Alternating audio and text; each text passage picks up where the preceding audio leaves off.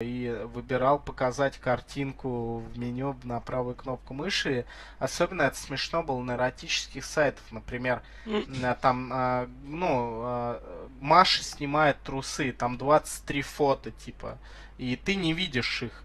Но ты такой думаешь, так, 23 фото снизу вверх, но наверху она, очевидно, одетая, допустим, да, и, соответственно, она все ниже и ниже должна раздеваться. Открываешь где-то 20 фото, но, может быть, она там и бывала раздета. Иногда, иногда эта телка, она была настолько стрёмной, что такой, блять, надо было все-таки сначала